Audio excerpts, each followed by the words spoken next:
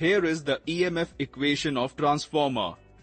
E equals to 4.44 BAFN, where E is induced EMF in volts, B is flux density in WB by M square, A is cross-sectional area of core in M square, F is frequency in Hertz, and N is number of turns.